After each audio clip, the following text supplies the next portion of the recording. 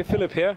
Um, next to me is uh, Arno, uh, who is on board the uh, brand new Dehler 31 design. It's nice to see you here, Arno. Thanks for taking a talk to us. Thank Arno, um, is this your first Silverrudder? Yes, that was the first uh, Silverrudder and the first time I'm sailing on this boat. I, was quite, I was quite interested in that boat, so I decided to charter it. It's the simplest way to, to learn more about a boat. Um, so I visited the boat on the boat show in Düsseldorf, and I, Martin, anyway, who is uh, working for the charter company, is a very old friend of mine. We sailed 30 years ago already together. So we start talking about it. I say, okay, the best thing is uh, you come here, sail a race. I'm racing since since ever, Yeah. but never on such a boat. No.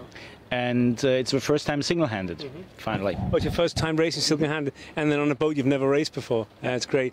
So I've got to ask. Uh, everybody's talking about this boat. I love the look of it. I like what I see. It looks amazing. Does it live up to your expectations? I mean, you got a third place in the uh, in the small class, which is a very hard class. So first of all, yeah, definitely it's it fulfills my expectation, no question on that.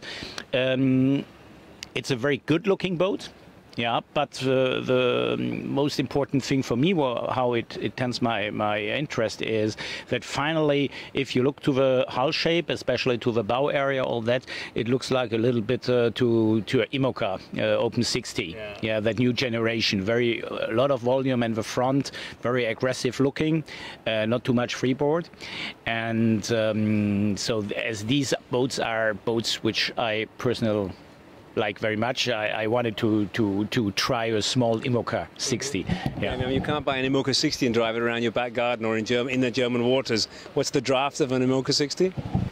I think it's about four four meters. Yeah, that's right. And With this one, keel. uh, with a canter keel. This one has a draft of two meters and twenty, but the keel doesn't cant on this, does it? No, it's a fixed keel. Boat is very well um, um, stabilized. Uh, we have water ballast on each side, something like I'm not absolutely sure. I think it's 180 liters uh, on on each side, um, which I only used um, last uh, no in the first night uh, for let's say two hours on, on the north end. The head of Fyn, yeah. North Yeah, yeah. On, on that long leg uh, to the west. Um, beside that, no. The boat seems to be quick. Um, it runs, uh, especially yesterday evening, I had a very good run with uh, Code Zero in light wind um, situation with the code. That was just amazing. That makes finally me uh, arriving on the third place.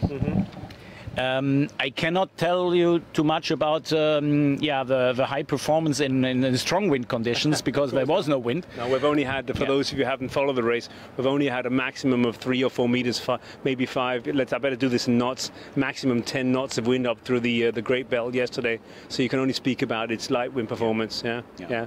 But that was satisfactory. Definitely yes. Um, there are the deck layout is well well designed. Everything is where it should be. Only the tiller was too short. So if you're sitting against the sea fence, um, or you need longer arms than I have, or a longer tiller. Um, that's the only thing. No, beside that, everything is fine.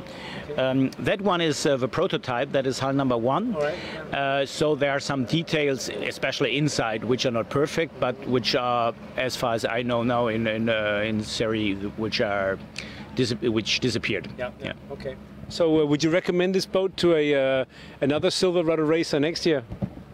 Yes, definitely. Yes, I think the nice thing is with that boat compared to some of the competitors is that you still can use that boat uh, for family sailing, and not not only camping on water, but let's say next step already. It's not luxury yachting, but nice sailing with two three people. It's possible. So you say this could be used as a as a family, a very very fast family cruiser, yeah? Yeah, which gives Lou a lot of fun. Okay, I better explain that to my wife because I'm on the market for a new boat. okay, thanks very much for talking to us today. You're welcome. We hope you'll come back again to the Yeah, I hope so too. Thank you very much. Bye bye.